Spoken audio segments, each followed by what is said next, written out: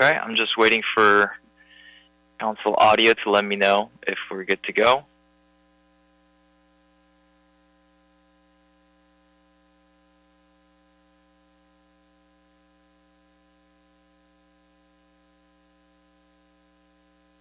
Andrew, just the audio is being broadcast for the meeting, not video, correct? That's correct. Audio only. Okay, so folks don't want to have their camera on, that's okay. It's, it's good protocol for us to have our cameras on to communicate with each other, but um, only an audio recording will be recorded. So. Okay. Ed? Great. We are now live. Perfect. Okay, good evening, everyone. My name is Andrew Suh from the City Clerk's This Office. meeting is being recorded. This is the Los Angeles United S- School District Board of Education Compensation Review Committee. I will now take roll. If you hear your name, please just let me know by saying that you're here. Jamie Woods Gray, Here. Efren Martinez, Here. Leon Rayblatt, Here. Jared Rivera, Here. Wendy Ruiz, Here. Ali Saleh, Here. Carmel Sella. Here. Perfect. Seven members and a quorum. Uh, we're going to begin today with uh, the public comment, and we'll be taking multiple item comment first. Uh, members of the public will be afforded two minutes per item with up to four minutes total for this public comment period. So I'll read the call-in instructions just in case people don't have it. Members of the public who would like to offer public comment on the items listed on the agenda should call 1-669-254-5252 and use meeting ID number 160-810-4238 and then press pound. Press pound again when prompted for participant ID.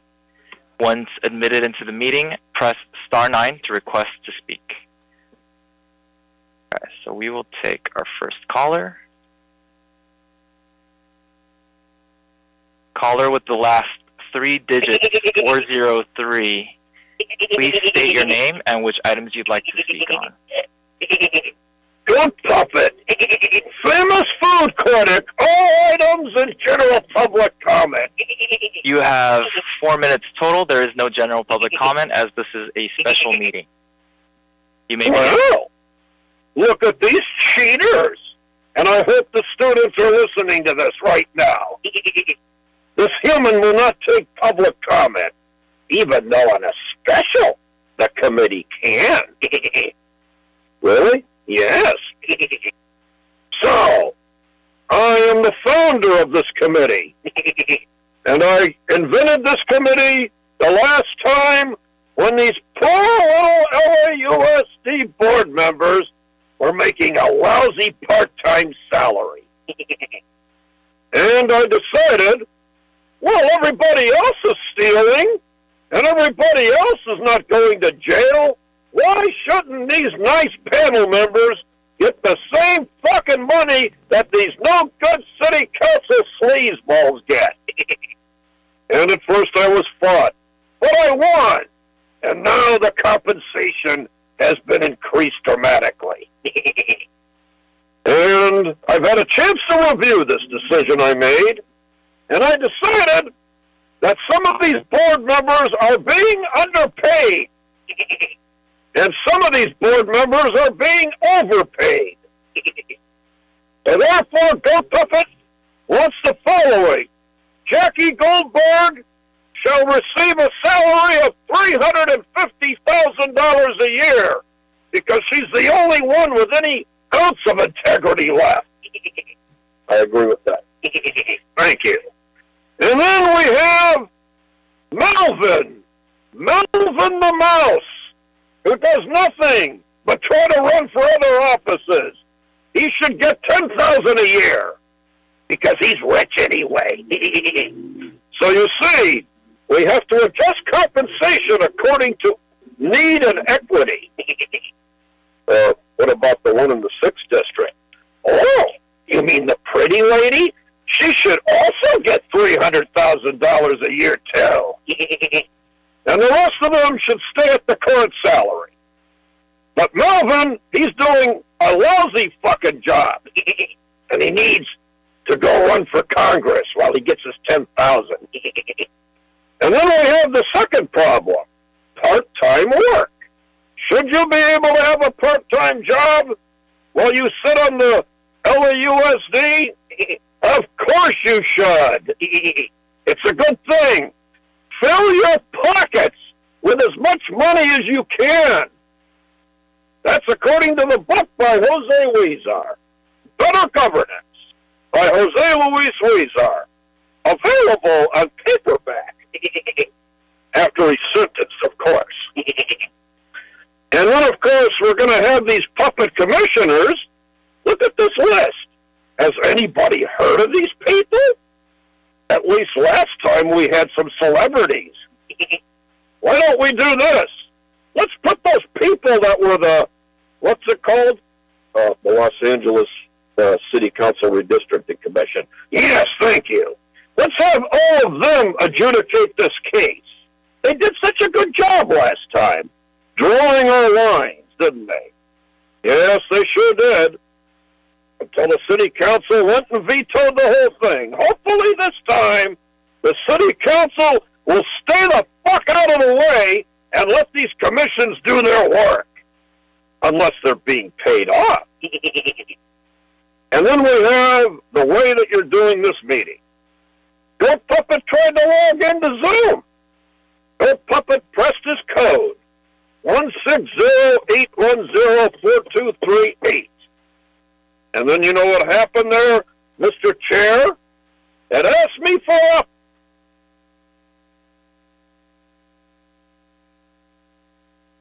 You're muted, Andrew. It asked me for a password. I want Thank you for your comments. Your time has expired.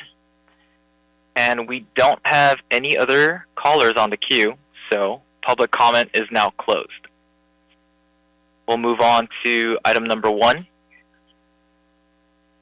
Item number one, determination relative to teleconference meetings pursuant to AB 361. Um, determination in accordance with AB 361, Section 3E 1B, whether meeting in person would present imminent risks to the health or safety of attendees because of the continuing state of emergency related to the COVID-19 pandemic, as originally proclaimed by, by the governor on March 4th, 2020. Okay, so um, we do have a motion here. Um, I don't know if you want to just very briefly explain what this is, Harit.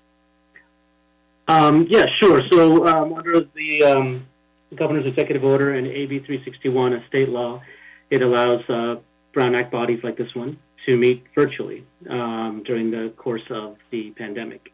That time is ending soon, but in order to authorize this meeting to occur virtually uh, over Zoom, we would need to pass uh, a motion that uh, Andrew will read into the record, and we need a first and a second for the motion to allow for this meeting to be held um, in this format. We, at, later on in the agenda, will be discussing how we want to hold and when we want to hold future meetings. Um, this authorization would allow some future meetings to be held virtually as well, but um, that would only be for a temporary time period. So that's something we can discuss later. But this motion and item is to authorize this meeting to be conducted um, in this matter. Um, so I'll move, I'm, I'll read the motion into the record. I move that the committee determine in accordance with AB 361, Section 3E1B, that meeting in person would present imminent risks to the health or safety of attendees because of the continuing state of emergency related to the COVID-19 pandemic. Um, can I get a mover, please? I moved. Move approval. Great. So Commissioner Rayblatt moves. Um, can I get a second? Commissioner Martinez seconds. Great. And we will. You need to take a vote on this, right? Yes. So for all um, action items, when we meet telephonically or in this um, in this setting, um, all the votes have to be by roll call. So Andrew will read the roll, and please state your vote as aye or no. Right. Commissioner Gray, Am I? Aye. Commissioner Martinez, Aye.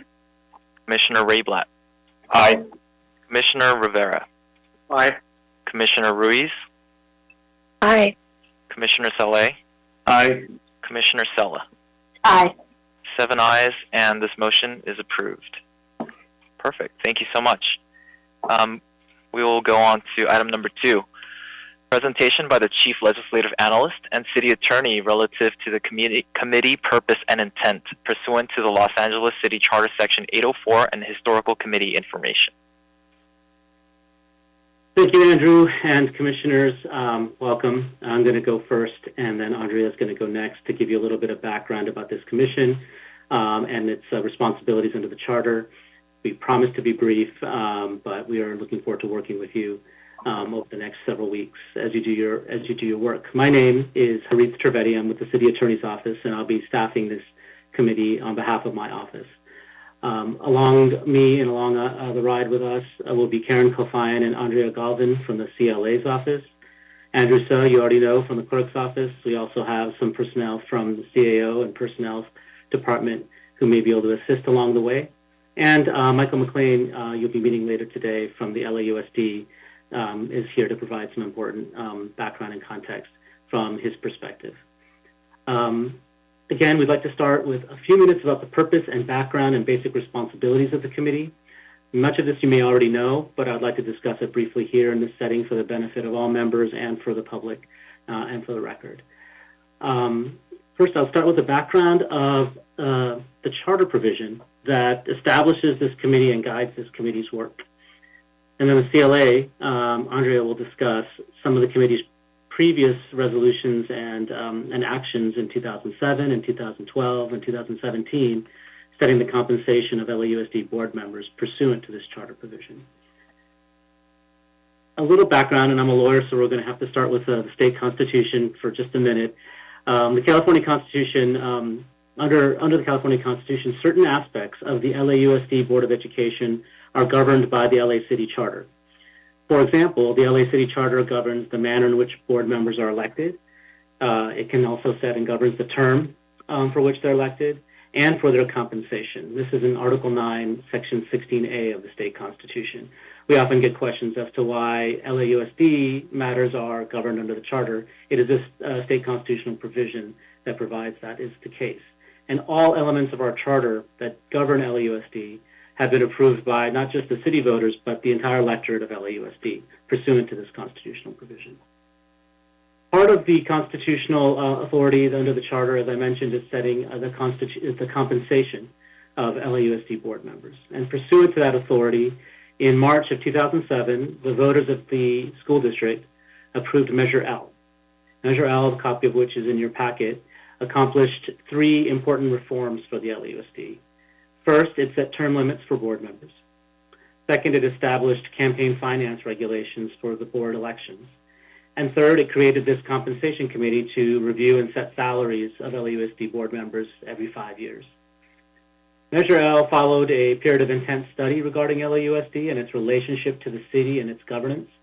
And one of the findings and recommendations of the President's Joint Commission on LAUSD Governance was the recognition that the workload of LAUSD board members was significant and the compensation should be adjusted according to that workload and periodically reviewed by this committee. Uh, when Measure L was passed, uh, state law um, was a little different than it is now. But since then, state law has been recently um, amended in the Education Code um, to specifically provide that a school district of LAUSD size can have the compensation of its board members set by a compensation committee created under a city charter. Previously, the state education code set the compensation for all board members at $2,000 per month. Now the uh, state education code expressly provides that the compensation for board members can be set by a committee established under a charter like ours um, and through a compensation review committee process.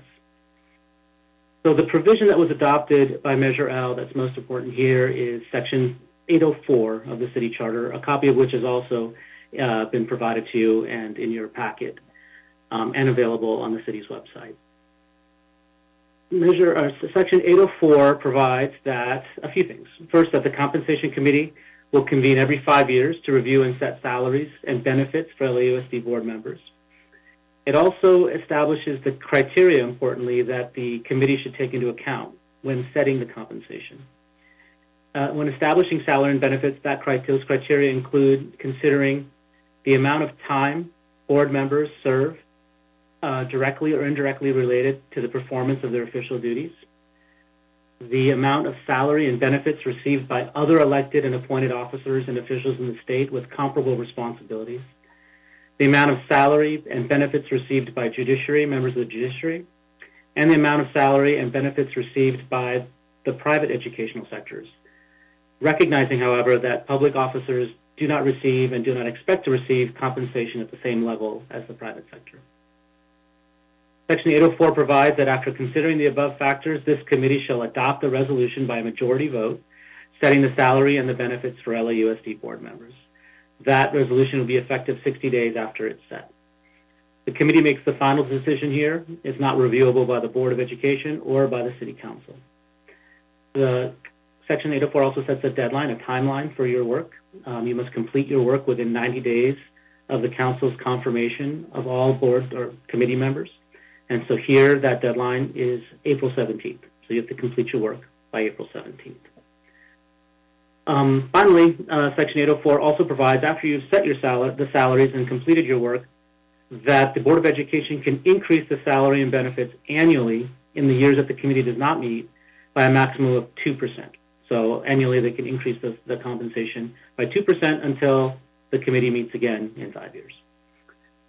So that provides a short background and summary of the law that's before you and that guides your work. Um, I'm going to pass it on to Andrea now, who will discuss a little bit of, more about the history of this committee, what, what it's done in the past in terms of setting compensation, uh, to provide you some context, uh, historical context for um, working forward on that issue now.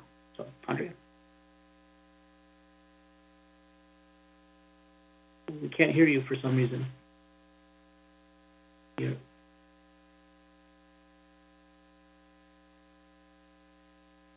No, cannot.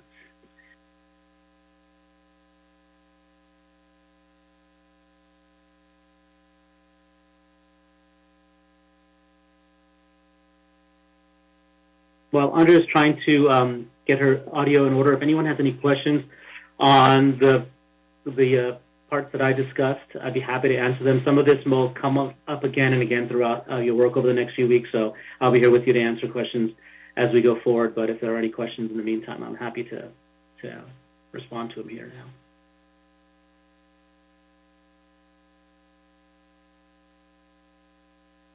You can't hear me? Oh, now we, we can, can hear you. Okay, now. yay, okay. Good. Okay. So um, I'm just going to give you a brief history of what the committee has done before, and um, we'll go over what the resolution will contain once um, some decisions have been made. This is the fourth time the committee has convened. The first time was in 2007 following the passage of Measure L, and then um, the committee also met in 2012, 2017, and now here we are again in 2023. Um, in 2007, the committee added two options for compensation. If a board member was engaged in outside employment, there was a lower rate established based on um, state law. Um, if the board member did not have outside employment, um, um, there was a higher rate based on a teacher's salary at that time. Benefits were also set as the same as those who were employed by the district. In 2012, the committee made no changes to compensation or benefits, so everything stayed the same. Uh, five year or six years ago now, in 2017, uh, the committee the committee changed the amount per category. So with outside employment, the um, compensation level was raised to fifty thousand dollars per year. No outside employment, it was raised to one hundred and twenty-five thousand um, dollars now before you, um, the committee has the option to keep the same compensation level and benefits or to make changes as the committee deems necessary. Once the committee determines if and how changes should be made, a new resolution will be prepared for adoption by the committee. This will establish the annual salary and also medical, dental insurance, and other benefits. The resolution that will be approved will contain the background information, the dates of the meetings that we've held, the work that was completed by the committee. It also contains specific findings that need to be made along with along with the changes, if any, have been decided on. The resolution um, is then transmitted to council for the record, but no council action is required. And um, 60 days after the adoption of the resolution, the committee is dissolved.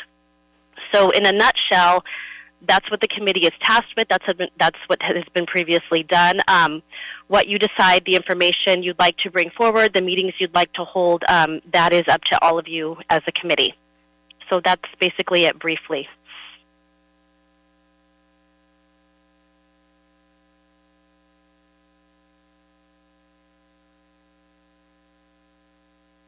I have a question.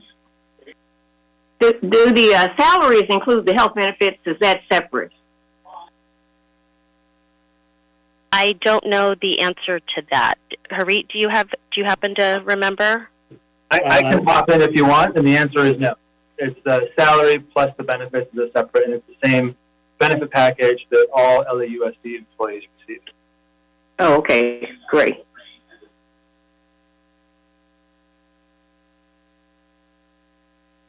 Andrea, uh, Carmel Sella, um, another question. In the past, has the committee invited outside speakers to provide testimony or anything to help inform the work of the committee? I believe they have. I don't have specifics as to who or what organizations came, but I believe um, I believe they have. Thank you. Would it be possible to find out or to, definitely? If, if anyone has that information here, that would be great. But if not, we could definitely find out and send you all the information. Thank you so think much. Commissioner Efren is you were here last in 2017, right? And I can also speak to it, but I'll, I'll defer to you to take this right now. Thank you. Uh, yes, we did have uh, outside individuals come. We had a plethora of, of questions. We had experts on on a whole bunch of things. So please don't limit uh, yourselves on what you want to hear, uh, as far as who you want to hear, I should say, uh, from. Uh, you know, I personally um, was the one that made the motion the last time to increase it to what it is now.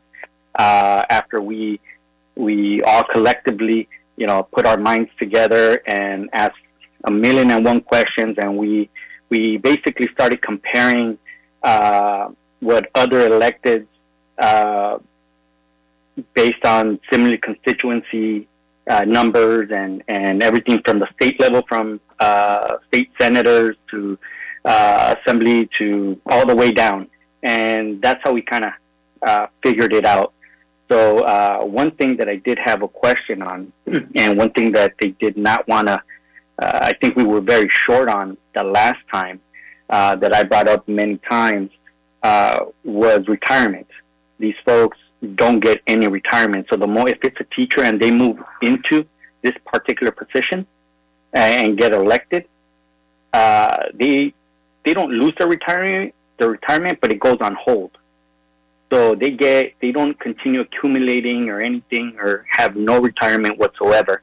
So that is something that I hope that we are able to further discuss this time around, uh, and, and, maybe have a, a really good dialogue about.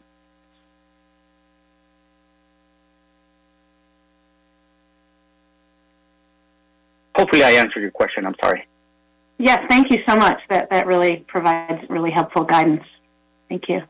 I'll also add that, um, and I have extended this invitation to different members of our board in the past, um, both prior board members who are no longer serving and current board members um, have come to the commission and have had a free-flowing um, question and answer period after they give a little bit of insight into their duties and responsibilities as an actual board member. So that's some, you know, good primary uh, evidence that you may wish to hear. And I'll, I'll, cover that in a little bit once we get through um, this part of the agenda. Uh, so have you invited the labor union uh, people to the meeting also? I have not. I don't have any. Since there are two people that there are two people who were on previous committees, right? Efren and I, I believe I was the um, I'm the only one that was uh, from a previous one. I was the vice chair. Oh, you were on the previous. Oh, you were the only one. I thought it was two people. Okay, So I was just curious as to whether you'd invited the labor partners to the meeting. You know, uh, I don't believe they they came, but we did have a lot of the previous board members, such as Mr. McKenna. Uh, we had, uh, gosh, I, I want to say we had probably about like six or seven previous members come. Uh, but I think you bring up a very good uh, uh, point. I don't think we, not that I remember that we had anyone really from the union itself. Our parent groups. Did you have Yes, parent we- groups? we did have members from the community and, and parent, uh, call it clusters, that organizations from within LAUSD that did come out and, and uh, gave us their perspective as well. Okay. So we, we can kind of go out there and invite folks uh, to come, and staff was always very kind to to uh, accommodate uh, for anything that we, we pretty much ask. I won't get in the habit of doing this, but I'll also add, after having listened to all the prior meetings that I had access to, the public comment periods, I believe, were publicized to a, a little greater degree, so there were public comments from uh, community members representing all kinds of um, points points of view, which is also another helpful avenue for the commission, I believe.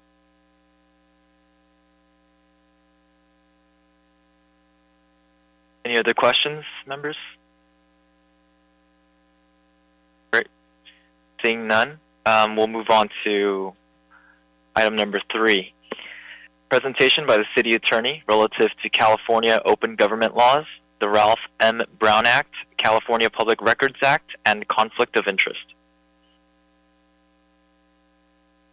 I'm going to give a very short um, rehash of the Brown Act and Public Records Act that apply to this committee. Many of you have served on uh, public boards before, uh, familiar faces here, so I know you're, this is routine information for you. Uh, we provided uh, more details in um, briefing papers and, and a packet that you should have that provides additional reference material regarding these rules. Um, and then I have uh, Renee Stottle here from the City Attorney's Office who will speak briefly about conflict of interest and ethics rules that apply to this commission. Um, the Brown Act. Likely familiar to all of you, Brown Act is a state law that governs open meetings, requires open meetings for local government bodies, including this committee. Um, in short, the Brown Act requires that all meetings of this committee be conducted in a properly noticed, agendized manner and allow opportunity for public comment. Um, the most important factor for you all to consider is what constitutes a meeting. A meeting is a meeting of a quorum of this committee. We have a seven-member committee here, so four members are a quorum. If four of you get together to discuss the business of this committee, that discussion has to occur in a public setting after having been properly agendized and noticed. You may uh, find yourself in situations where you want to reach out to one committee member or another committee member regarding a matter before this committee. The Brown Act is, um, in, in, fact, when four members of this committee uh, reach collective concurrence or discuss a matter that's before this committee. We would urge you to be very careful about your communications with each other so that you don't inadvertently um, in, in, engage in a conversation or communication that it, um, includes four members of this committee. So it could happen in multiple ways inadvertently by yourself. You may contact one person, for example. If that person contacts another on this committee and then another, then you have four members in a serial conversation that would um, would implicate the Brown Act, and it cannot occur without a Brown Act setting. Alternatively, you may find yourself briefing one person or talking to one of the committee members about a matter, and then later talking to another committee member separately about a matter, and then a third committee member about the matter. That's the hub and scope, hub, hub and spoke um, type of communication chain, which also, since four committee members will have been involved in a communication there, could um, would implicate the Brown Act. So again, if you have questions, if you have any other matters you'd like to discuss, do them in this public setting when the committee is meeting and during a meeting.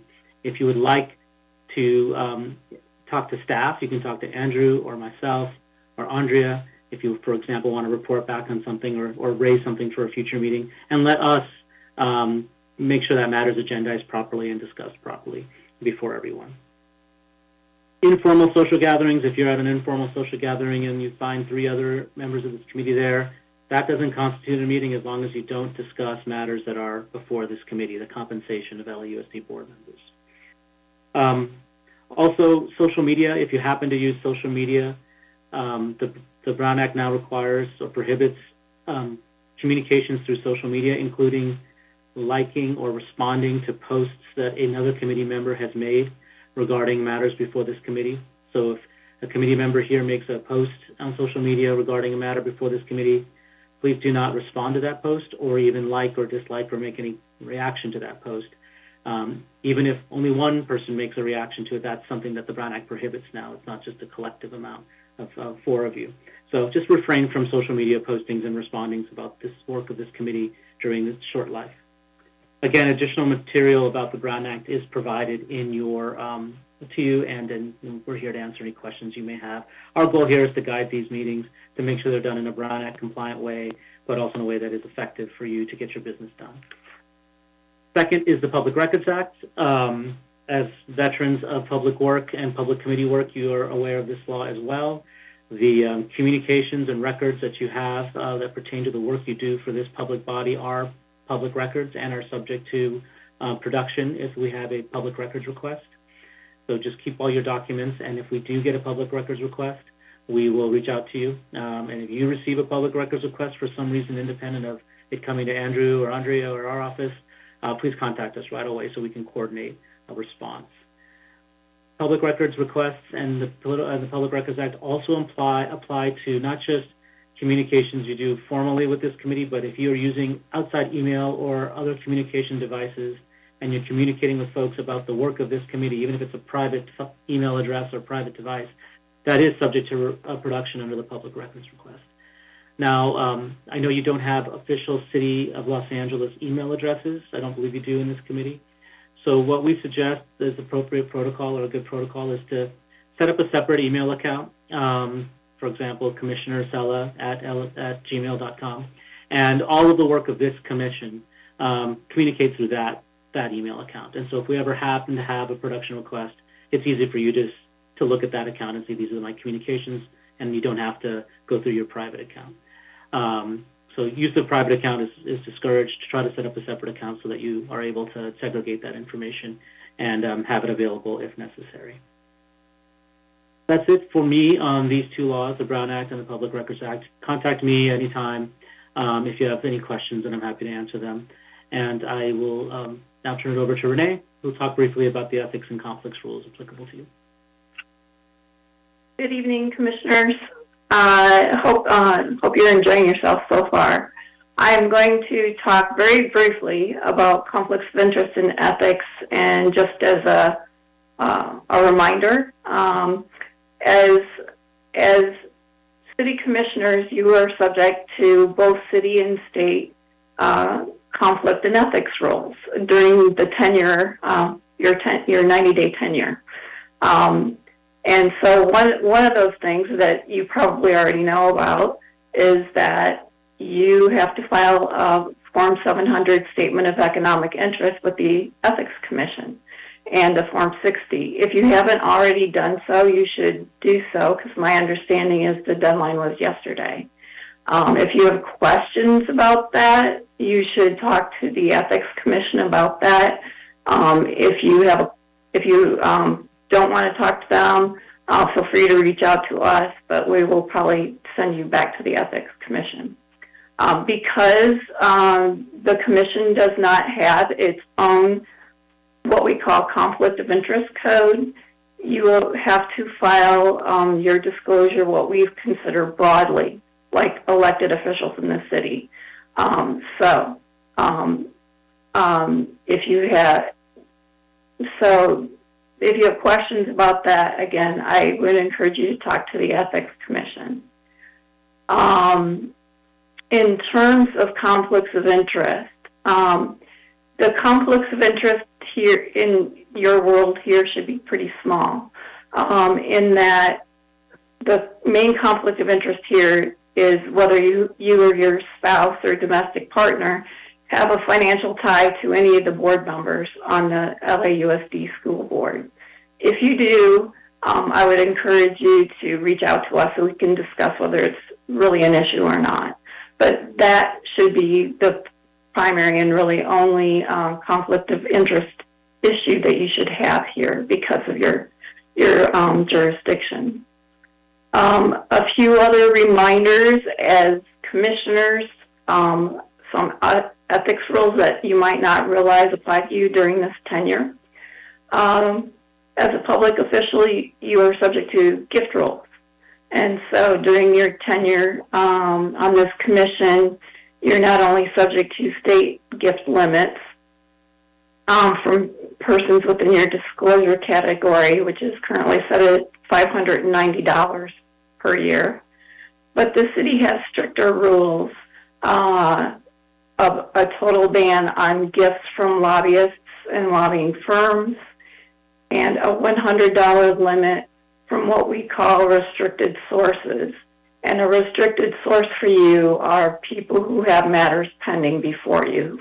So during this 90 day tenure, um, you need to be very cautious about taking gifts from people who are interested in what you're doing. And if you have a question about it, feel free to ask. Uh, feel, to, feel free to ask. In addition to the gift restriction, um, if you would ordinarily, or if you're asked to pay, uh, to speak and get uh, paid to do that, um, there's an honoraria restriction on you, and so um, I would. There are exceptions, but if you have a question or that issue comes up for for you, please ask for advice. And again, we're only talking about during the time frame that you're serving on this commission. Um, two other topics I was going to briefly mention that sometimes people don't realize is the city has a restriction on city commissioners, which you are considered, um, um, a, a, a ban on attempting to influence city decisions or compensation while you were a commissioner. So if you would otherwise be um, lobbying essentially um, city the city on matters, you won't be able to do that during your time on this commission.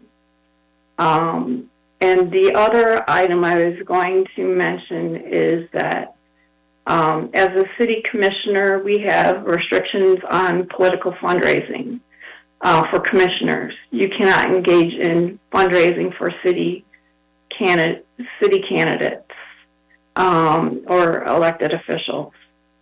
Um, so that's my general summary. Um, you should have received some documents and guides from the Ethics Commission. If you have any questions at all, feel free to uh, let Harit know, and um, if necessary, you know, we'll talk together.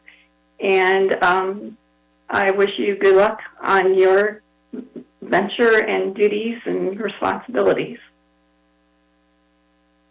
Thank you. Great. Thank you, Renee. Um, so since we are, uh, you know, using teleconference, if you do have a question, uh, please feel free to use the raise hand feature. You could find that at the bottom of your Zoom screen. Like we don't have any questions.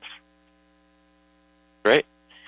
Well, thank you so much. Um, we can move on to item number four on our agenda, introduction of members and election of officers. so um, we will go down the list from our agenda. So we'll start with Commissioner Gray, go down all the way to Commissioner Sella, and then if you can provide a brief introduction um, about yourself, and then after all of the commissioners provided their introductions, um, we'll move on to the election of officers. And for that, I'll speak more um, after all of the introductions. Okay, very good. Good evening, everyone. My name is Jimmie Woods Gray. That's Woods Gray hyphen. So usually it comes under W not G.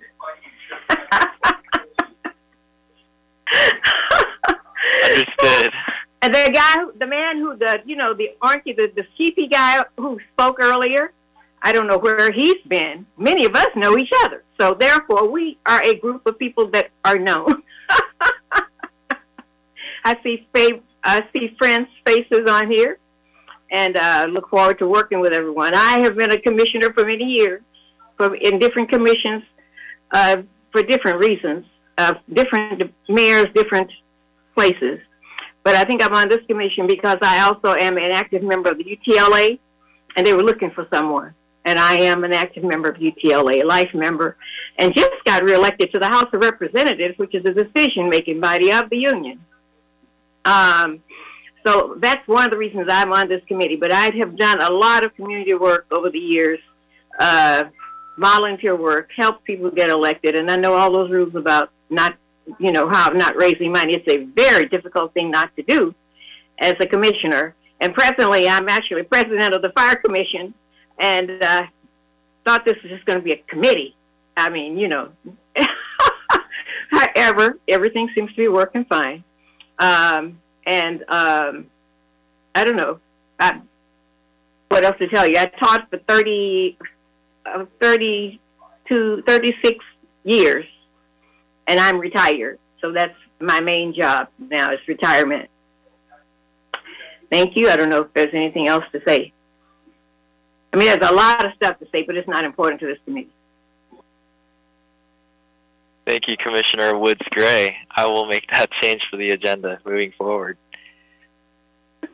Uh, Commissioner Martinez. Thank you.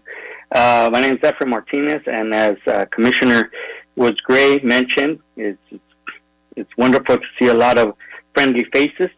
Uh, and uh, I'm just happy to be here once again uh, on this commission. Uh, I've been blessed to be here once again, and I look forward to working with all of you.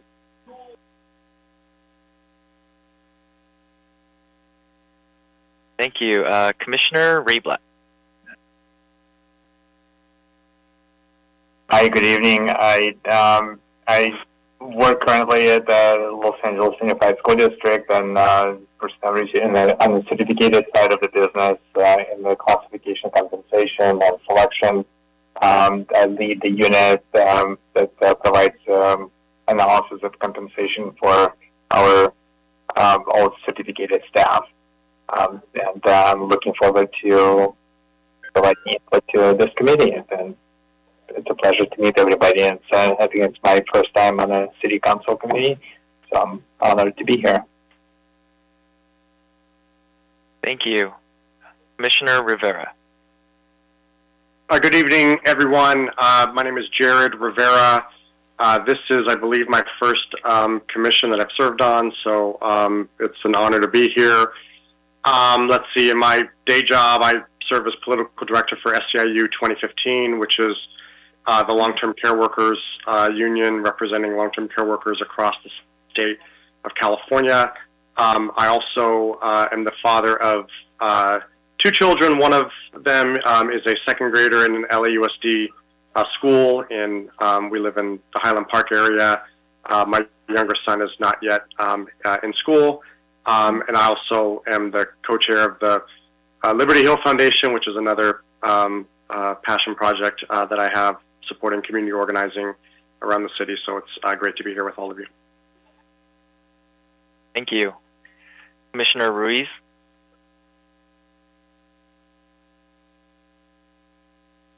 Hey guys, can you hear me? Yes.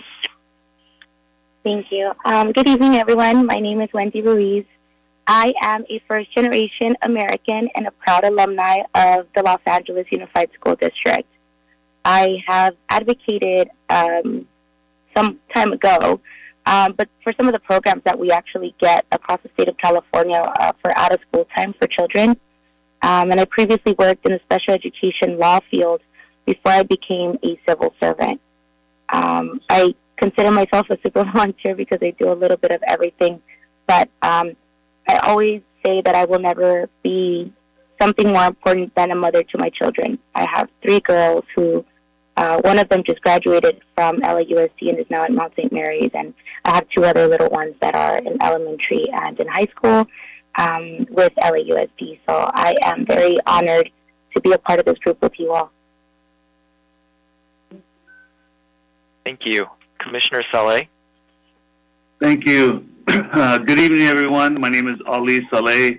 Uh, I am a council member in the city of Bell, uh, born and raised in the city of Bell, went through uh, LAUSD schools, uh, elementary all the way to high school.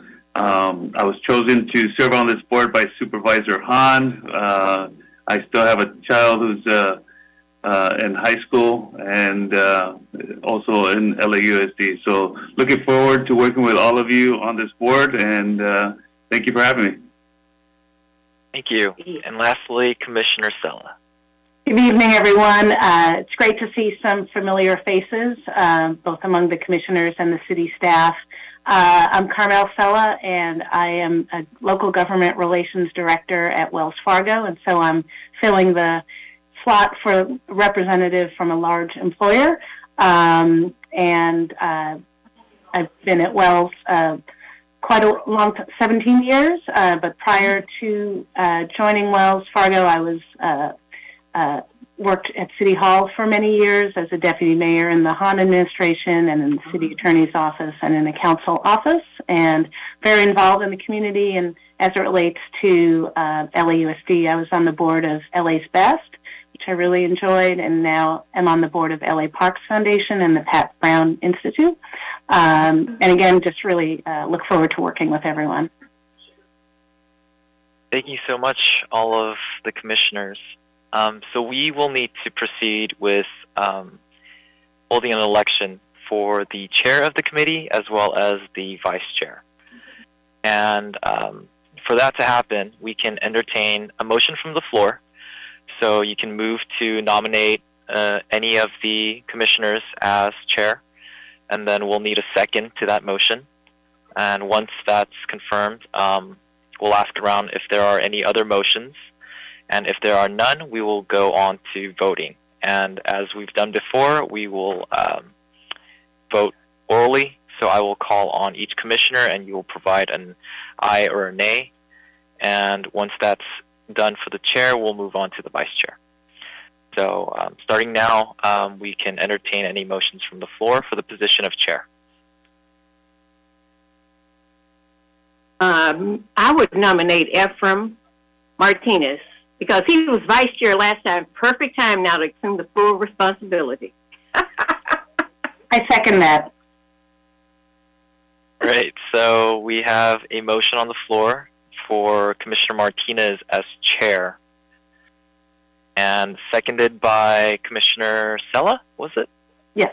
Perfect. And, and just to echo what Commissioner Woods Gray indicated, I, I think his experience um, will be really helpful to us, and I think he's a, a natural choice to be chair. Great. Um, are there any other motions? Seeing none, we will now vote on the motion to appoint Commissioner Martinez to the position of chair for the committee. And a roll call vote. Commissioner Woods Gray. Yes. Commissioner Martinez. Aye. Commissioner Rayblatt. Aye. Commissioner Rivera. Aye. Commissioner Ruiz. Aye. Commissioner Saleh. Aye. Commissioner Sella. Aye. Perfect. Congratulations, Commissioner Martinez. You are now the chair of this committee. Thank you. Thank you. Thank you, all of you, for for uh, uh, thinking and believing in me. Uh, at this time, we will now entertain any motions for the position of vice chair. I'd like to make a motion uh, for Commissioner Woods Gray to serve as vice chair. I've known uh, Commissioner Woods Gray for many years, and her service to the city and her current service as a fire commissioner and other roles that she's played. She's a coalition builder, she's a consensus builder, and I think she'd be a, a strong choice. Second that motion. I, you know, I have so many responsibilities with the fire department until I really, I hate to decline, but it's something that I would have to decline. I'm sorry. Completely understand. I I would like I would like to rep, to uh, nominate uh, committee member Ali because he has the county ex- he's coming from the county experience, and I think that would be a good match. I agree. And uh, so I will make a second to that motion. Not that I have enough on my plate as well, but go ahead. Uh, are there any other motions? Seeing none, we will now vote on the motion. Uh, Woods Gray Martinez to appoint Commissioner Saleh to the position of Vice Chair for the committee. We will take a roll call vote. Commissioner Woods Gray, Aye. Commissioner Martinez, Aye. Commissioner Rayblatt, Aye. Commissioner Rivera, Aye. Commissioner Ruiz, Aye. Commissioner Saleh, Aye. and Commissioner Sella. Aye. Seven ayes, and Commissioner Ali Saleh is now the vice chair for this committee. Congratulations. Thank you all for the vote of confidence. Looking forward to working with all of you.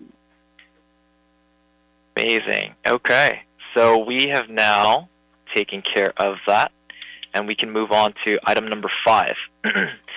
Discussion and presentation by Michael McLean, Executive Officer, LAUSD Board of Education, relative to board member responsibilities and time commitments and related matters.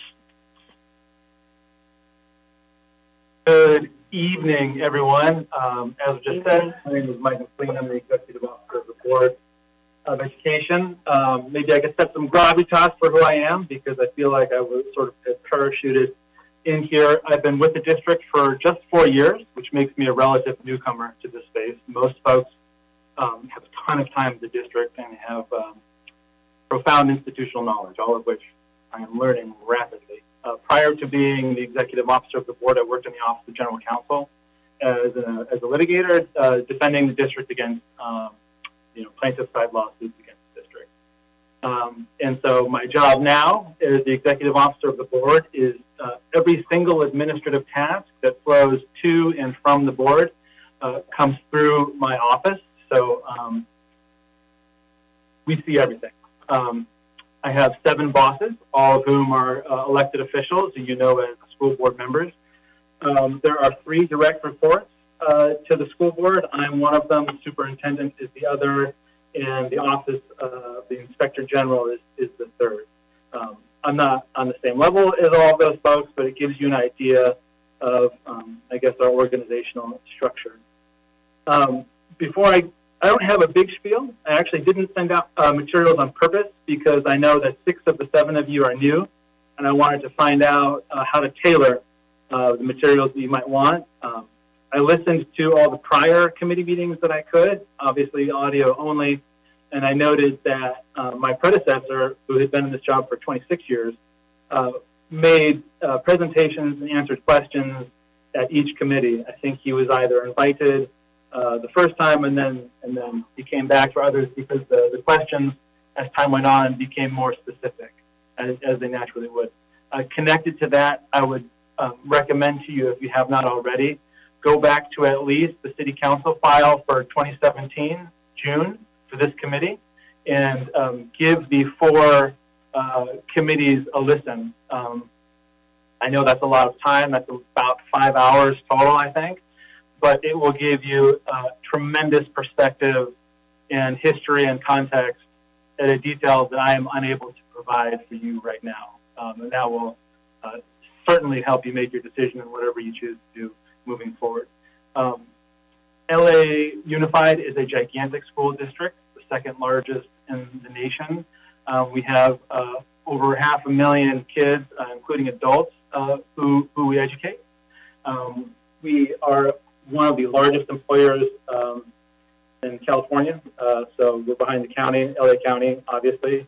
Uh, the seven districts each have, I believe, about 600 a population of about 600,000. So each of the seven has about 600,000 constituents, um, serving about 4.8 million people. Uh, so it goes without saying, though I just did, that the work of the board encompasses and touches the lives of nearly 5 million people. So that's not not just our students, um, but also their parents and also those who um, are not anything to do with the school district uh, because we employ folks and we, uh, the school board because they make a decision about every policy that goes into effect, everything comes across their desk to read. Um, the lives of the workers are heavily impacted by the decisions and the time and the commitments of the school board. Um, so uh, their jobs are very serious. Um, I know that there was a time when the school board uh, was, uh, we, we, covered the history a little bit today, was paid uh, about 24000 25000 for part-time and about 48000 around there um, if they chose to do the work full-time. And in 2017, that changed, um, and it's now $125,000 a year. I have been in this position for almost a year now, and in that time, I have um, been able to work very closely with and develop pretty good relationships with the board members and um, their their job commitments and their time spent doing the necessary work of what a board member does looks to me way beyond 40 hours a week. In fact, it doesn't look like they're ever off the clock, so to speak. Um, that doesn't mean they're working every minute of the day, but every minute of the day they are subject to answer questions or be approached or have to in some way uh, address address the needs of their job. So what what is their job? Um, every check, every expenditure, every budget um, has to be has to flow through the board. In order to do that, we have uh, board meetings every month. Um, there's been a trend. I, uh, looking backward about 10 years, there used to be um, uh, a lot of board meetings that I think, um, I'm not sure exactly why there were so many. Uh, and then the trend has been fewer board meetings as time has gone on, and it looks like uh, the process has become more efficient. Um, each board book that the board member has to review contains, let's say, a board report that is discussing um, something the board is being asked to act upon, uh, to basically say yes or no to. That could be um, budget, that could be something about a policy having to do with, um, let's say, installing solar panels, facilities, procurement, everything under the sun. Uh, there'll be a board report, and then there'll be an informative, and then there will be uh, attachments. I know I'm getting a little bit of detail here, but any given board report or board book for a board meeting can have up to like 500 to 1,000 pages. And I am a cynic. And when I first came on to this job, I definitely believed that there was not a single board member who would read every single page. I have found that that's not true. They all take their jobs very, very seriously. And I haven't yet run into a board member who doesn't read every single page. Um, and I find that to be quite impressive. So the work that goes into just reviewing the material that needs to go to one of our board meetings is tremendous. Um, and one of the things my office does is we try and get that material to them as early as possible before the board meeting so they can actually review that.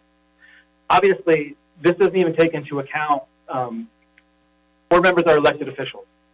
And as elected officials with uh, defined geographic boundaries and 100 to sometimes 200 schools within each boundary. They do school visits and they do site visits and they meet with labor partners and they meet with constituents and parents um, all the time, uh, in addition to whatever they have to do to prepare for a board meeting. So um, their duties and activities are uh, massive. Uh, obviously, they don't do it all on their own. They have staffs and they become experts at delegation. Um, that is the the, the shortest version of what I can say a board member does. Um, and, you know, looking at the work of this committee, so a part of my job is also managing all of the board meetings. So that's all the Brown Act compliance, that's all the, the stuff we heard at the outset of this, this meeting, and along with that comes public comment. And I think it's important to, um, I guess, be magnanimous when we're listening to the public comment uh, periods because we'll hear over and over again, both at our board meetings and even at this commission meeting, that there is some sort of dastardly boondoggle occurring um, where some cabal is hoping to pay these, these folks an absolute ton of money. I believe it is the work of this commission to sort of set a salary that will attract the very best people to lead the school district. And I believe that's why that they actually gave um, a salary in, in 2017. Um, so your work is, is very, very important. Um, some other context. Uh, so looking at the list of the largest school districts in the state, if you take the top 10, LAUSD is number one and is larger than the following eight school districts below it. Uh, so that kind of gives you an idea of how it's a massive, massive entity. In uh, the the budget is the operational budget is about thirteen billion dollars, and every one of those dollars is expected to be um, handled with care. Because the seven members who decide how that money is going to get spent are stewards of these massive public funds, uh, and they're account, held to account by by the public. Uh, so that's an extra aspect to their job that is difficult to quantify. Now, it's obviously they volunteer for the position, right, by throwing themselves into the electoral ring and, and, and going for it. Um, but the, the, the importance of their job is, is, is hard to overstate. Um, and it's, it's hard for me to believe that it, was con- it could be considered a part time job um, at, at any point. I, I was an LAUSD kid um, in the 80s. Wow uh, when enrollment exploded. There were 700,000 students in the uh, LAUSD at that time. Um, and there weren't even enough places to put us all. And even at that time, board members were dealing with uh, tremendous issues. Um, so that's the scope of it. I, I, I, I, am here to answer as many questions as you may have. Some of your, some of your uh, questions I will not have answers to. Um, but I will bring you answers to anything that you have that is within my ability to to put to put together. Um, I think that's about it. Do we have questions, or do you do you have areas of inquiry that I could expound on for you now that maybe will cover a bunch of questions? Oh, and I did. Um, so touching on, I'm sorry, touching on a few things that questions that came up earlier. Um, the school board is comprised of, uh, right now, a couple of retirees. Uh, we have a couple of uh, new moms who, ju who just had kids, um, all, and a couple of teachers. Everyone on the board has teaching experience, which is fantastic. Um, and the way that the salary system is set up now uh, is able to attract people who otherwise would not be able to do it. So if you have, um, I'm going to say younger, but when I say younger, I mean someone between like 30 and 50 who, who might be very well qualified for the school board um, in prior years would be unable to run. And these, these are this input I've gotten from the board members asking them, hey, why did you run? What, what's your story? Um, and I, I, heard that a couple of times. I also want to say that um, I've spoken with a couple of the board members, and they're happy to come in and answer your questions um, in this committee format if, if you like. Uh, and that's all I have of my, you know, extemporaneous, uh, put some context to it. Um, this is all new to me too, so I'm a learner along with you if you haven't been on the committee before. And um, let's do it. Uh, Mr. Rivera, Commissioner Rivera, I see a question. Yeah, an, an item that would be helpful for me as we move along is I, I don't know if we anticipate a uh, a review, a salary re review of comparable districts from around the country. So, you know, uh, New York, Boston, some of the other larger districts to get a, a sense if we could compare uh, what other large districts have done with um, their board members would be helpful.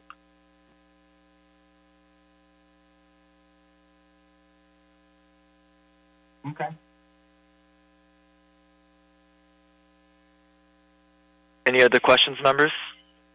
We can also um, discuss uh, you know questions and things you would like to see um, at a future agenda in the next item as well. So, yes, Mr. Chair. Thank you. Uh, I guess yes, just for to kind of uh, speed speed it up a bit. Um, I I was hoping that we can uh, that staff could look into uh, the the retirement part uh, as well. I know that that'll take a little bit of time, so I wanted to make sure that I bring it up, you know, early on. Uh, and also, uh, given the fact that that there is a two percent yearly increase based on on the base salary, uh, maybe for as we move forward to be able to provide us with uh, what is it, what is the salary at now currently uh, that would obviously include the that two percent uh, from back. I think it was 2017, based off of the 125,000 and or the 50,000, whether it was part time or full time. So uh, if I could speak to that really quick, I thought that the 2% increase only applied if we were paying under the provisions within the Ed Code as it currently stands. I don't think that the, tw- the 2% yearly raise is something that happened automatically by step. Um, Mr. Trivedi, are you able to opine on that? I will have to look at that and get back to you. I can look at it while we talk here to see if um, if uh, I find that readily available in the next few minutes. Let me know. Okay. So to restate, my understanding is that under if they if they accept it, if the payment was set by the Ed Code, a two percent increase on non-commission years is allowable. But if the if the if the salary is set by a commission such as this, the two percent is not a- applicable. That's my understanding. I'm I'm I'm not wearing an attorney hat right now, um, but uh, in my research, that's what I found. And I don't I don't want to misrepresent anything here. So what the charter provision says is that in the years the committee does not meet, the Board of Education can act to increase the salary by 2% every year. So it would be an action that the Board of Education would have to take, and of course consistent with any state laws that apply to the Board of Education. So um, I'm sure they have a number now of what they are currently being compensated, which may or may not include a 2% increase if the Board of Education has taken any such action since 2017. And um, staff will be able to get back to that number by next time around. Okay, I'm, I'm going to text someone right now just to verify their, their, their salary. Maybe we could wrap this up before we even leave. And then as for the retirement piece, um, it, it is accurate that if, if, a, if a school teacher decides to run for the, for the for board seats and then they win a board seat, they are no longer part of CalPERS or Cal- CalSTRS if they were classified rather than certificated. They're in CalPARS, which is an alternative retirement system, um, which is, um, I guess, structured more like an annuity. So they do, money comes out and goes into that account, but they do not get retirement credit as if, like, like I do, or, or like a teacher does, um, towards, towards retirement. Does that sound familiar, Mr. Martinez? Uh, uh, yes and no, but my understanding from back then was that it was something that uh, it was up to them if they wanted to participate, and at that point, it would have to come out of their own pocket based off of those 125 or whatever it is that they get paid, uh, rather than having a fixed amount or or something already structured where they would actually get a retirement. Yeah, more like deferred compensation.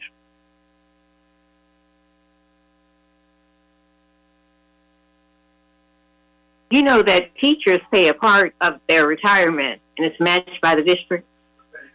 So individuals do pay into the retirement. Yeah, the district, so for me and most, and, and I don't know exactly what the teacher amount is, um, but classified employees like myself and, and Mr. Rabel, you may have a better understanding of this than I do, is uh, I think the district does 14% and I do 7%, or I can elect to go higher. I think it might be 8% now. That I, total of 14. The, it's a split between the employee and employer. And same applies to the, to the certificated staff as well. So on the CalSTRS and CalPERS side, there's a contribution from both parties. And depending on the, uh, um, depending on the bargaining unit, uh, those percentages may vary. But uh, generally speaking, there's a compensation paid into retirement system from both employees and employees, and district as the employer. Commissioner Sella. Just a quick question. Uh, I know we'll be getting into this issue in more detail uh, down the road, but uh, Mr. McLean, where are those rules governing the retirement system set forth? Is it state law? Is it um, county? You know, I, I just wasn't sure. Uh, is it LAUSD policy or CalPERS? Um, maybe you could point point us to. I will. I'll look into that. I know at the very least it has to do with it's a it's a fund set up for elected. So because they're often outside of all of these systems and by nature of their elected or elected official status, but I will get a much better answer for you. Awesome. Thank you.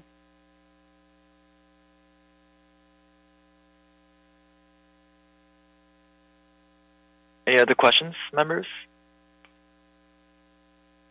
Um, one, one more thing, because I really appreciate Mr. McLean being so um, helpful and, and interested in, in, providing support to us. So while, while we're putting out uh, inquiries, um, it was mentioned, um, you know, the benefits, um, and maybe this will be something you're already planning on providing. But if you could share with us um, the dollar aspect of that, the financial, what that represents, and the trajectory, and, and anything that might be helpful as we think about the total compensation package.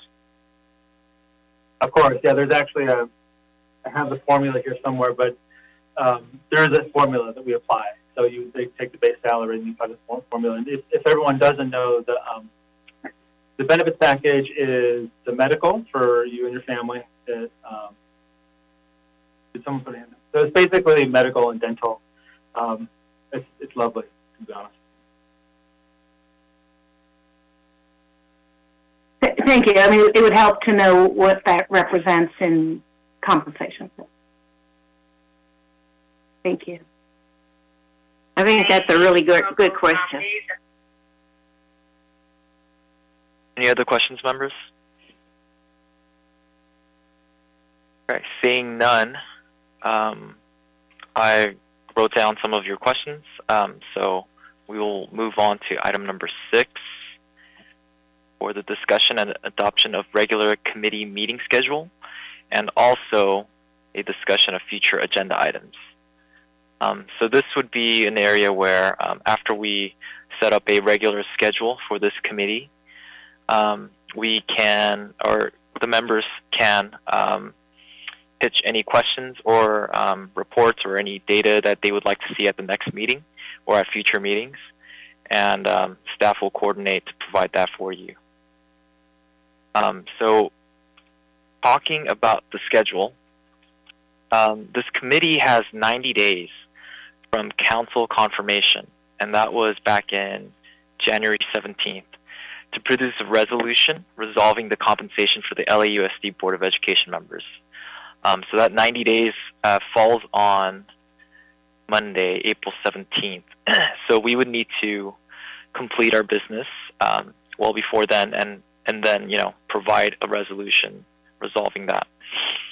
Um, and I would also like to say that um, the virtual meeting um, and what we did in item number one for AB 361. Um, I believe we have 30 days for that. Um, is that correct, Harit? Yes, that's right. So you can continue to meet virtually. Um, there's a 30-day grace period under the state law, so you can continue to meet virtually until uh, I guess we do March 29th. Is that right? We'll count. Yeah. Mm-hmm. So we we have until March 29th to meet virtually, and um, you know, obviously this is up to the commissioners. Um, but you know, if you'd like to skip LA traffic and coming into downtown for your meetings, um, you know, virtual meetings are an option until the 29th. Um, and uh, so it's it's a good thing to be thinking about your schedules. Um, obviously staff is here to accommodate. Um, and one more thing that I'd like to address is that um, we are unable to meet on three days because we have a conflict with um, this Zoom webinar. It, it's used for different commissions, and unfortunately, we can't run two commission meetings at the same time. So um, Monday, March 13th, um, Monday, March 20th, and the 21st um, those are days that we will not be able to use this um, webinar. Yeah, so um, please feel free, uh, Mr. Chair and uh, Mr. Vice Chair, um, if you'd like to discuss scheduling, and then we can confirm that. Yeah. Mr. Chair, uh, I'm available. Mondays are good. Uh, I'm okay with doing it in person as I my job is in downtown LA. If that works for the rest of the group, uh, if not, I'm okay with also doing it um, online. So just want to make that comment. Tuesdays also work, but Mondays are better for me. Wednesdays, we we have I have council meetings on second and fourth. Uh, and then on the others, uh, the first I have another Gateway Cities meeting, and Thursdays I got other board meetings. So as I said earlier, I do have my hands full with other boards that I sit on. Uh, so Monday tends to work better for me, and Tuesday is open if Mondays don't work. I know Mondays seem to work better for me because I just as you said, I have Tuesdays and Wednesdays, and Thursday's a good day. But then I already heard uh, the vice chair said that's not a good day. So Monday is the day that I have other meetings, but that I could postpone or cancel and uh, allow myself to just be in this meeting. Mr. Rivera, does uh, uh, does Mon- do Mondays work for you? Yeah, Mon- Mondays uh, do work well for me. Um, I will just note I, I do travel a little bit with work, so the more that we can do virtual um, helps out just because I'm, I'm, I'm not always sure what my schedule will be. On that note, I had a question for Andrew and for the city attorney. Um, if needed, uh, for uh, like uh, Commissioner Rivera mentioned, if he if we're meeting in person and he is out of town or traveling, uh, will there be an option for uh, that individual to uh, sign in? So if we do an in-person meeting, um, under the Brown Act, there are very strict rules about the participation of committee members who are not present at the site of the meeting. Uh, it's very difficult to do. You'd have to be in state. You have to notice the meeting at your loca- location that you're at. You have to allow public comment at the location you're at. And uh, it's, a, it's a very difficult set of rules to comply with. So if you can't make a physical meeting, then generally your participation is, is not possible um, for that meeting. Okay. There, there are ways to do it, but it, it, it would require specifically going through the particular location the person's at and how, how it can be worked out. So as a general matter, that's highly discouraged. But we'll, we'll try to we'll try to figure it out so that we can all uh, be there. Uh, Commissioner uh, Rayblett? Yeah, no, Mondays virtual meetings work for me. Okay. Uh, what about uh, meetings in person thereafter, if need be? If if we need to, I'll, I'll make recommendations. Okay. Uh, Commissioner Reese?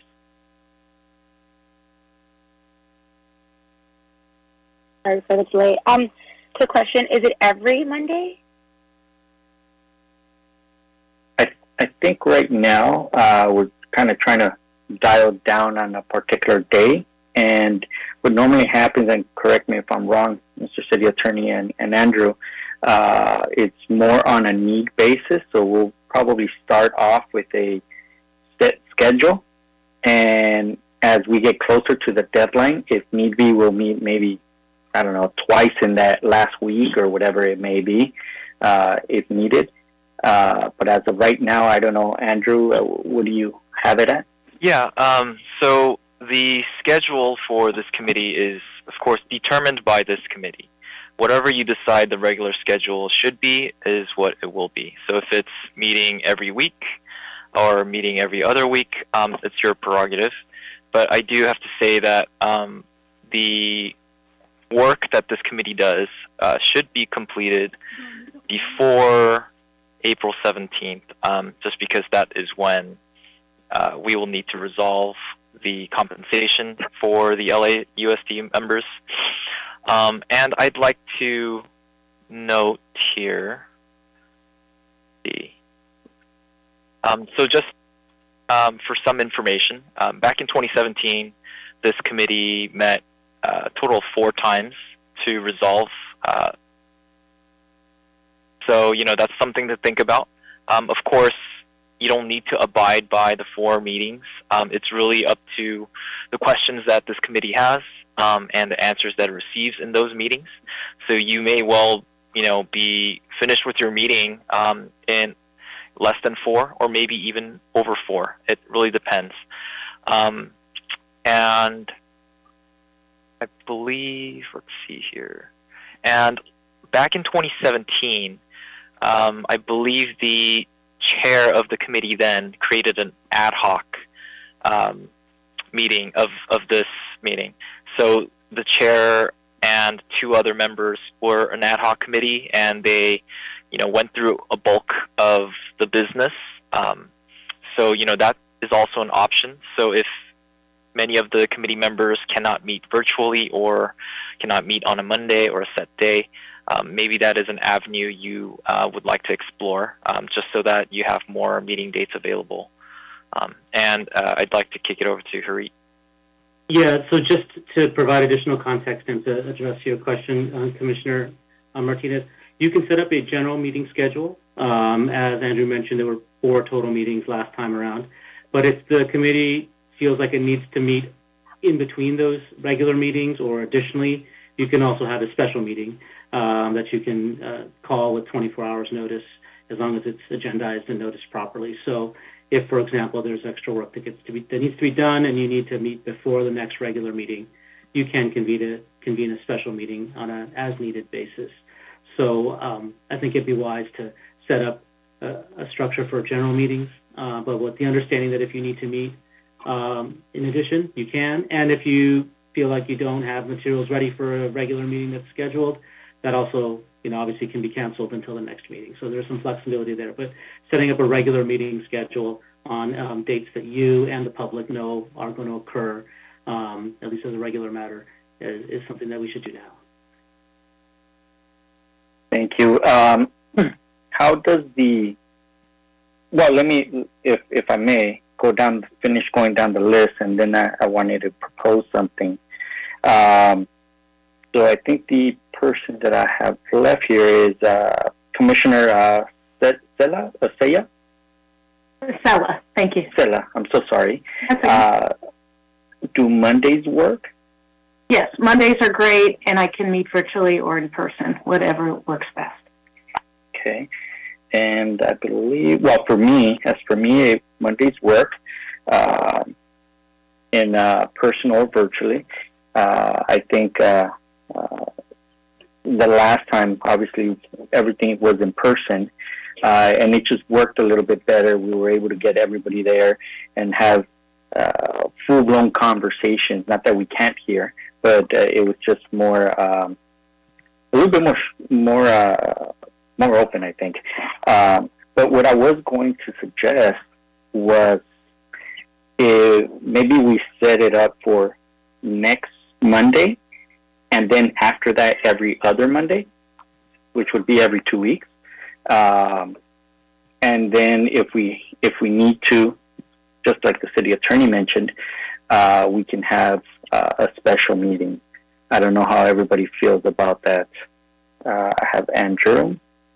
Um, so I wanted to just bring this up as well um, for Mondays. So we have the 13th and the 20th that won't work because our web ID will be utilized for a different commission.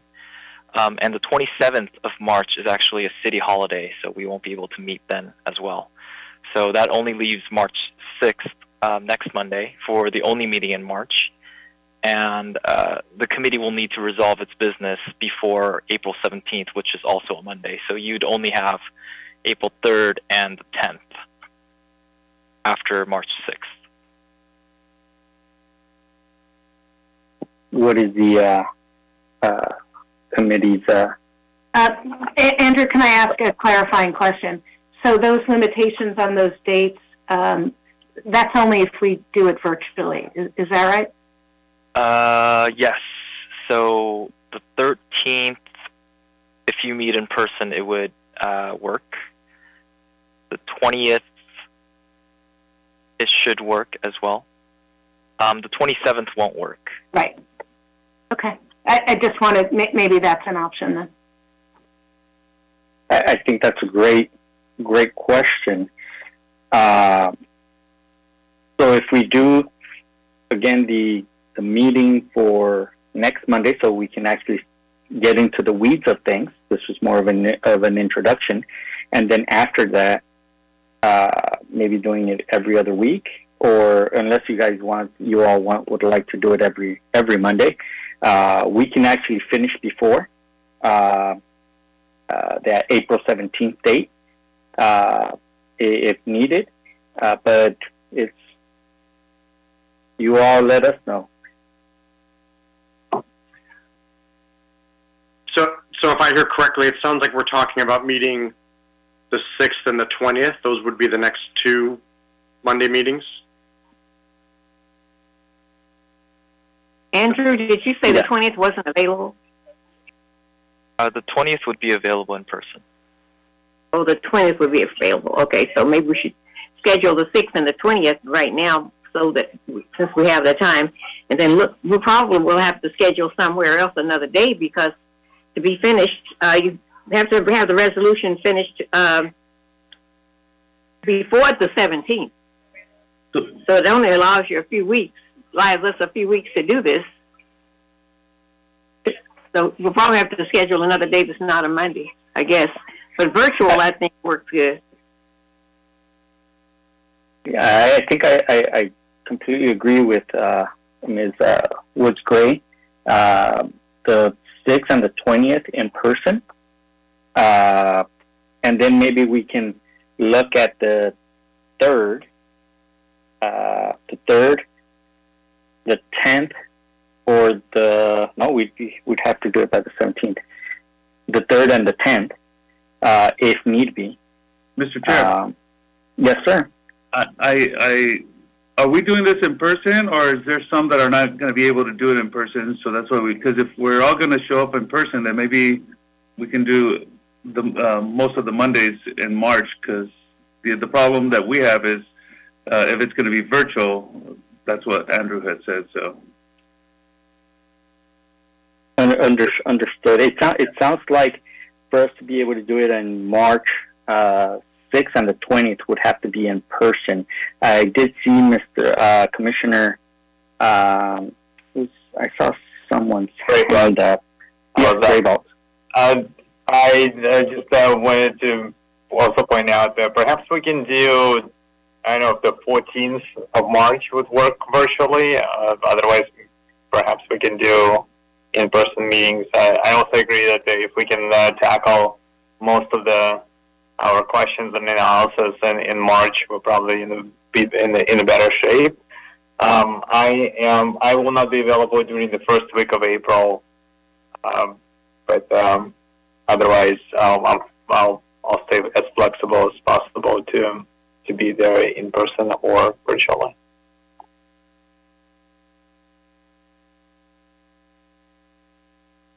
Andrew? Um, so I just wanted to reiterate that you can meet virtually on the 6th. It's the 13th um, that we can't use the web ID. But if we were to switch to the 14th, we could go virtual. Yes, yes, you can. You can go virtual any other day of the week. Um, you also don't need to create a regular schedule that only falls on one day of the week. I, I, I understand most of the members are available on Mondays, but if the committee chooses, uh, you know, they can meet any other day of the week as well. Um, we will just note that these specific dates will be the regular um, scheduled meetings for this committee. Okay, so then uh, what we have um, is the sixth, right? If we do the sixth uh, next uh, meeting, and then we jump to the twentieth. That way, it's every other week, um, and then Do we have enough time for every other week? Uh, well, what I would suggest that we, we can jump the 13th since it's not available virtually uh, and go to the 20th and maybe if uh, do also the 27th. Uh, Commissioner Martinez, so Yes, ma'am. so the sixth would be virtual, and the twentieth would be in person. Uh, that that would be the suggestion. Yeah. Okay. I, I, that, that works for me. And just personally, Monday uh, is just a lot easier than the rest of the week. If we could do them all virtually, as many as virtual as possible, I would appreciate it. I'm, I'm sorry, folks. Um, so it looks like the 20th, I just got a notification. The 20th is free for virtual. Um, and uh, Mr. Chair, 27th will not work because that's a city holiday. Understood. So we have the 6th available, the 20th available. Uh, is that correct, Andrew? Yes, sir. And if we want to do, if we want to do every week, uh, and I, that's up to the rest of the group, um, I'm okay with the 14th and the 28th, which is a Tuesday. So if you want to do every week, so I don't know if everybody wants to do every week. That's Tuesdays. And I know uh, Commissioner Sella said that Monday works best for her, so I don't know if that Tuesdays work for her. I, I, I would, I think that's a great option, but while we're in the startup phase, maybe every other week, and then we save the every week for the, the big push at the end. Special meetings. Sounds good. Okay. Um, okay. So gathering everything back up, we have the 6th, the 20th, um, the 6th, the 20th, uh, the 3rd, and obviously the 17th. And then somewhere in between, if we if we feel that we're too short on time, then we can call some special meetings in between. Is that okay with everyone? Yes, and, and just to note, um, like Commissioner uh, Ray Blatt, I'm also not available the first week in April. Hey, Hari, uh, quick question for you. Um, so the third, the uh, 90-day deadline is April 17th. Um, so can this committee convene on that date, or should the resolution be available on that date? It can convene on that date and, and take final action on that date. After its final action, by the end of that day, the committee's term will end. And to be clear for folks, um, the April 3rd or any dates in April, they would have to be in-person meetings. Um, the option for a virtual meeting ends um, with, uh, with the end of March.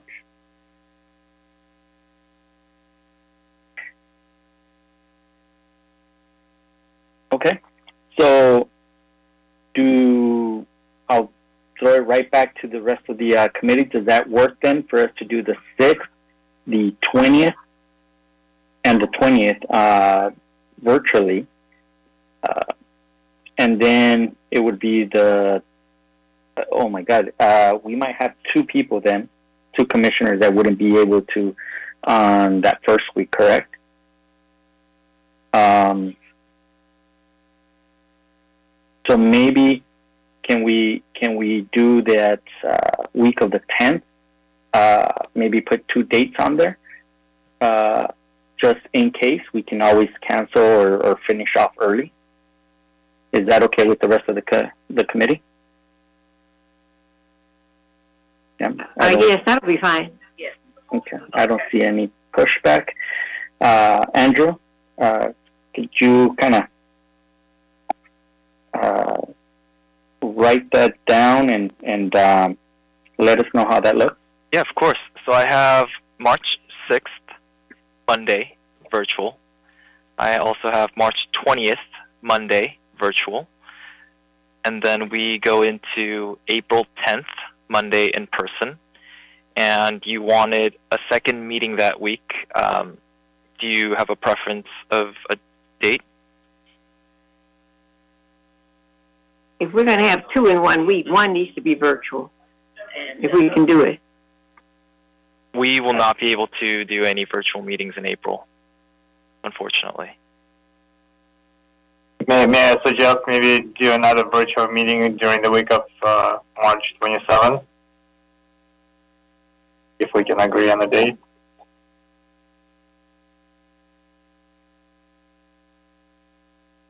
How does the uh, rest of the committee feel about that? I- I'm perfectly fine with that. Mr. I'm Vice sorry, Chair could you and committee? repeat that? Uh, could you repeat that? Yes, so he uh, he brought up, and I'm sorry, uh, Commissioner Raybould.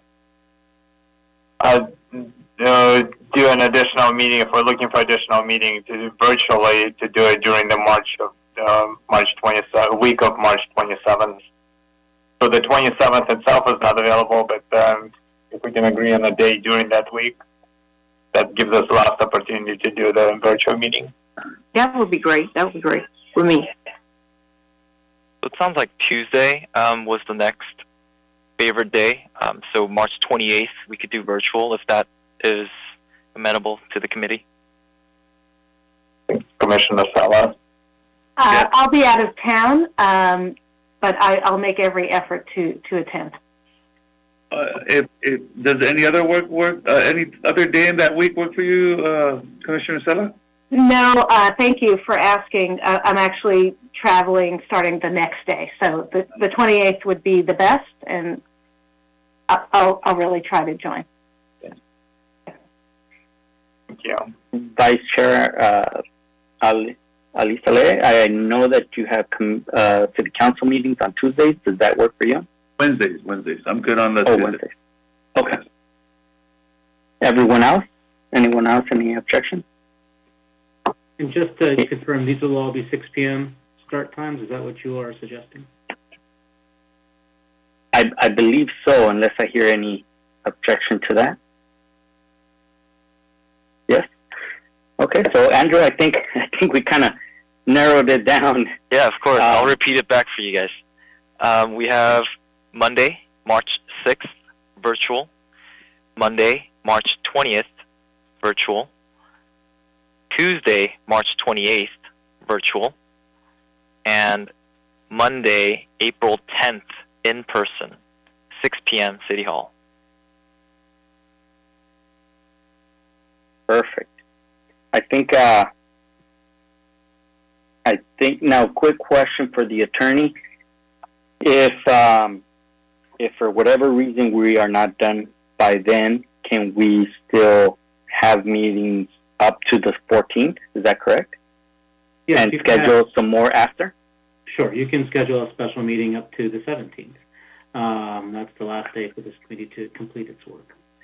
even though Andrew will not have it uh, already on on his resolution, right? Meaning um, that there will not be a regular meeting scheduled that day, but you can have a special meeting scheduled. Okay, great, great. I think for now, unless there's any objection, that we go with those four dates as of right now. Great. Um, I believe we'll need to take a vote on this. So I will call the roll. Uh, Woods Gray, Aye. Martinez, Aye. Ray Blatt, Aye. Rivera, Aye. Ruiz, Aye. Saleh, Aye. Sella. I believe you're muted, Commissioner Sella. Aye. Okay, perfect. Seven ayes. Uh, the schedule, the regular schedule has been adopted. Um, just to I, I apologize.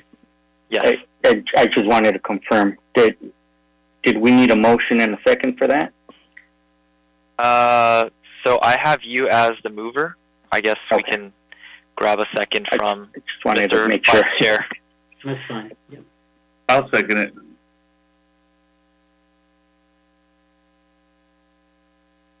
and that's been adopted. Um, so we have the regular meeting schedule, um, and we can move on to um, discussion of future agenda items.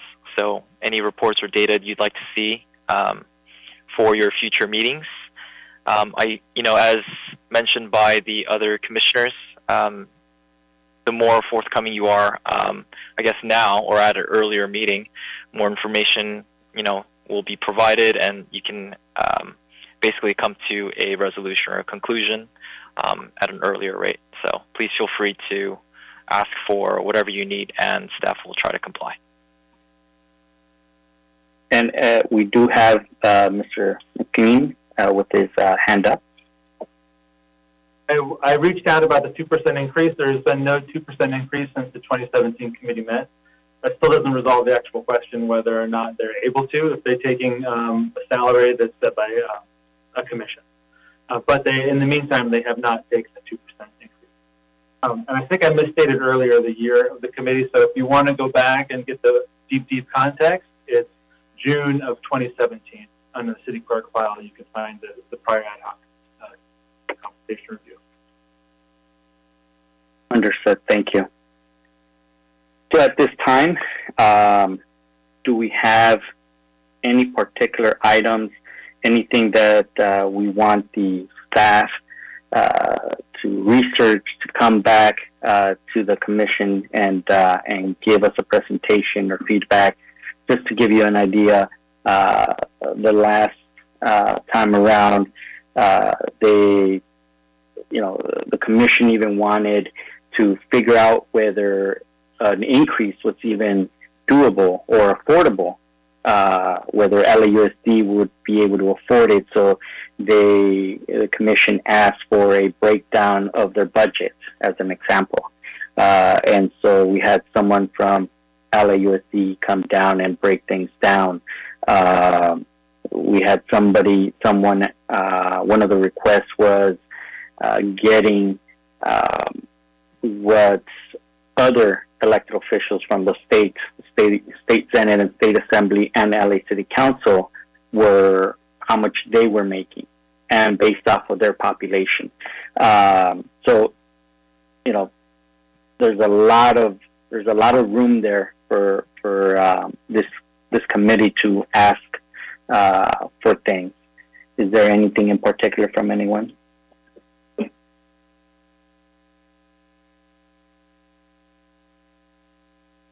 No. Uh, Commissioner uh, Raybould. getting involved. I, I don't think I'm going to take a position uh, in a couple. Yes, Commissioner uh, Raybould.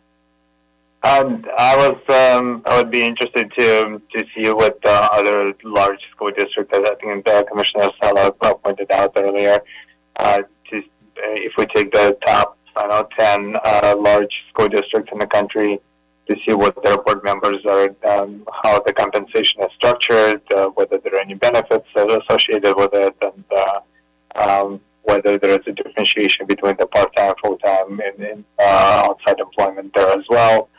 Um, the, um, uh, would probably be helpful for us to, to see what the total cost of the retirement benefit would be to the district, what the what the um, uh, the liability for the district would be on uh, on providing additional retirement benefits per per individual, um, and um, the uh, and also as you pointed out, I would be interested to see what the, the last, last time the committee had access to, what kind of data they, considered in, in evaluating and determining the salary increase at, at that time. It'd be helpful for us to to see understand uh, what the logic was used at, at that time.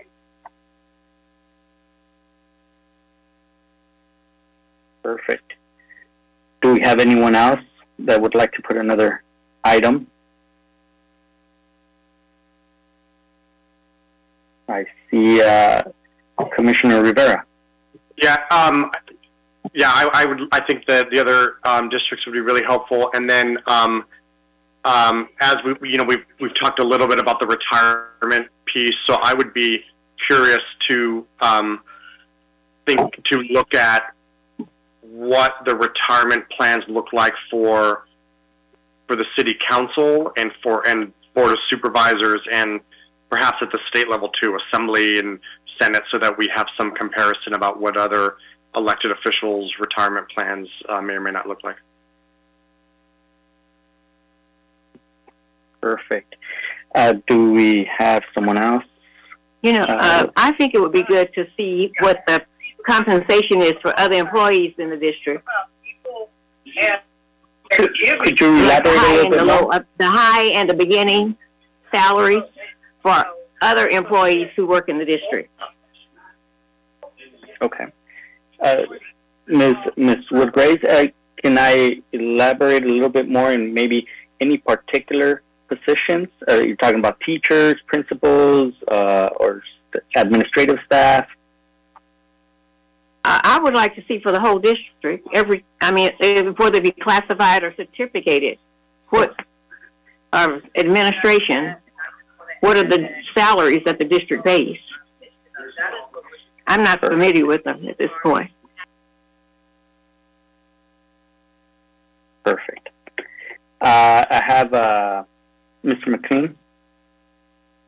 Uh, hi, I'm, I'm, so I know that the um, the city handles some of these questions. Would you like me to also handle some of them? I, I, I don't want to do double work, but I have come. I do have some of those figures prepared, but I know. I think now it sounds like I would like to put together.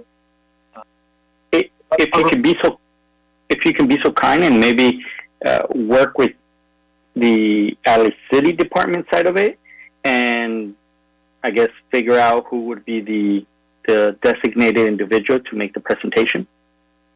Can I ask right now the person on the on the line Mike, that should? Michael, this is Andrew. Um, I will connect you with uh, the folks from the city, and um, we can all collaborate to see, uh, you know, who should be presenting what. Awesome. Thank you. Okay. Uh, do we have any additional? I'll, I'll bring one up. Um, and uh, as I mentioned uh, before, since we previously used the uh, salary numbers from the state and uh, and uh, local uh, elected officials, can we get a breakdown of what increases those particular positions received during this period of time since since 2017 to now to see what percentage or how much increase between now and then for us to consider that as the inflation factor possibly.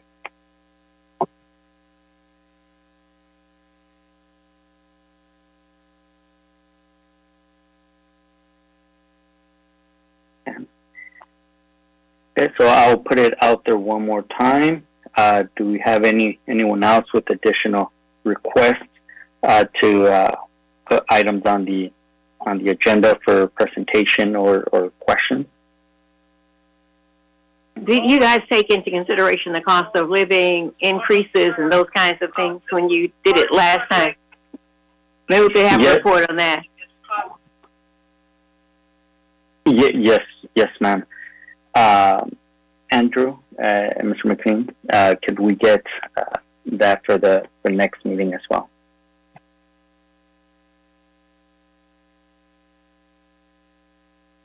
Okay, and it seems, if without objection, uh, for us to be able to move on uh, from here, I think we we we received quite a few items uh, for direction for next meeting. Great. Oh, I'm um, so sorry. Uh, we do have uh, uh, Commissioner Ruiz uh, with her hand up. Thank you, Chair Martinez. Um, I guess I'm a little curious about, and uh, Mr. McLean offered, uh, you know, a brief overview of uh, what the school board members um, do in terms of their duties. Um, but I, I was kind of curious how that compares to the superintendent of LAUSD. Um, I'd like to get, you know, I guess a comparison, if possible, about what responsibilities they each have and, and how they're different and how uh, they compare. Um, and I guess this kind of leads into a few of the other commissioners' questions in terms of uh, seeing how budgets compare with others. I, I, although I would like to see how they compare to other big school districts, I'm very curious to see how we also relate um, just in, in school districts that uh, have a little bit. I don't. I don't know. Uh, usually, the price index is a little bit different here uh, in Southern California, and so I'd, I'd like to get a comparison um, of how we relate to other districts as well um, here in our area. Okay, sounds good. Now, uh, and I'm so sorry, uh, Commissioner Ruiz. I know you briefly mentioned superintendent. Did you want a breakdown? Well, I'm sorry, a comparison that included that as well? Yeah, like in terms of like what their job description is, like what like what what the superintendent is in charge of uh, versus what uh, school board members are in charge of, and then how how they compare, how they relate, and then the difference in in pay um, would be just a few of the things that I think we should consider. Okay. Well, on that note, Andrew, I think you have your hands full.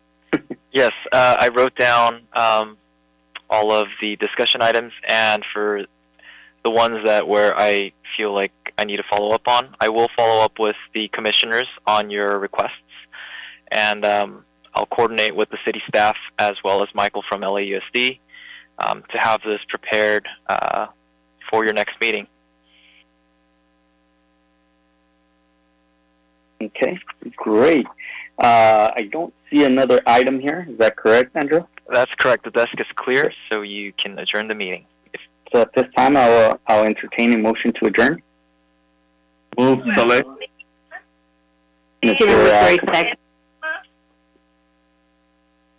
At this time, uh, I have, well, I have a motion by uh, uh, Commissioner uh, Saleh and a second by uh, Jimmie Woods Gray. I think at this point, uh, all in favor?